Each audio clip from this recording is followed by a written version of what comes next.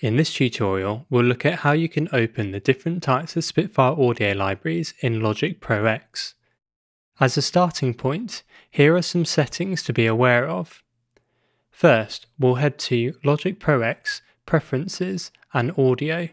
From here, you can set your input and output devices and select different ones if you wish. We also recommend setting your buffer rate to 1024 samples. Once you've finished setting up your preferences, select Apply to save them. You'll also find your MIDI devices in the MIDI Control Center, where you'll find them under Inputs and also in Control Surfaces above. To open a Spitfire Audio plugin library, go to your instrument list, AU Instruments, Spitfire Audio, where you'll find the full list of your plugin products. Hit Create to open the plugin, and it will open automatically in your window.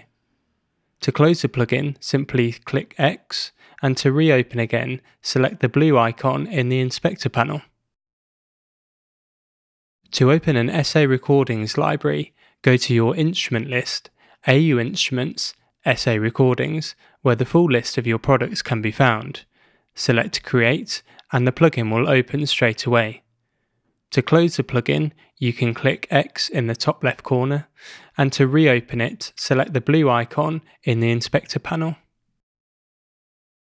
To open a Kontakt player library, navigate to your instrument drop-down, select AU Instruments, Native Instruments, and the version of Kontakt you wish to use. Hit Create and the plugin will open automatically. When you're in the Kontakt plugin, navigate to the library you wish to open in the library window. Select the instrument drop-down and double-click on the NKI to open the library. To open a Kontakt full library, navigate to the instrument drop-down, select AU Instruments, Native Instruments, and the version of Kontakt that you've paid for. Select Create and once you're inside the plugin, go to the Files tab, select the device you installed the library on, and navigate to the library folder. Once in the library folder, select Instruments and double click on the NKI to open the library in Kontakt. To open a library in Komplete Kontrol, navigate to the Instrument drop-down, select AU Instruments, Native Instruments, Komplete Kontrol. Once you're inside the plugin, select all instruments and the library you wish to use. Once you've opened the library, you can then select the presets you wish to open in Komplete Kontrol.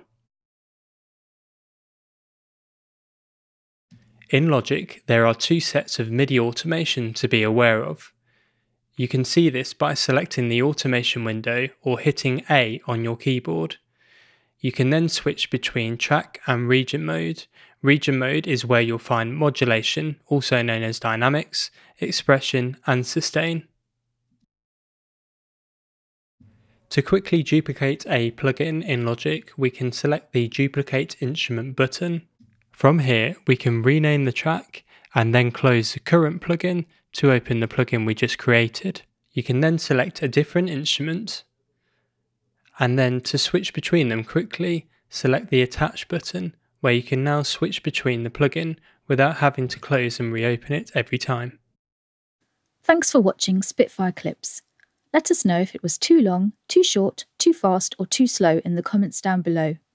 Hit like if we answered your question and subscribe for more clips, tips, tricks and exclusive Spitfire content.